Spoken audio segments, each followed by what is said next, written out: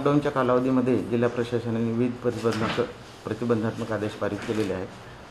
त्याचे उल्लंघन झालेले आहे. त्याबाबतची माहिती पुढीलप्रमाणे आहे.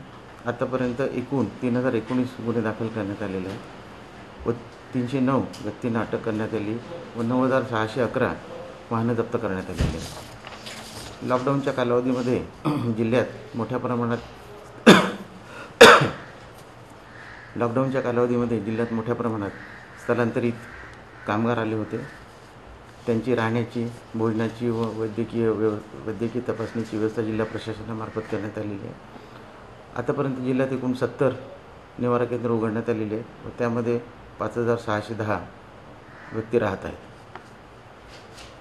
याशिवाय लॉकडाऊनच्या कालावधीमध्ये गरजू गरजू कुटुंबांना जिल्हा प्रशासनामार्फत अन्नधान्य फूड पॅकेट्स वाटप करण्यात आले. त्याची माहिती पुढीलप्रमाणे.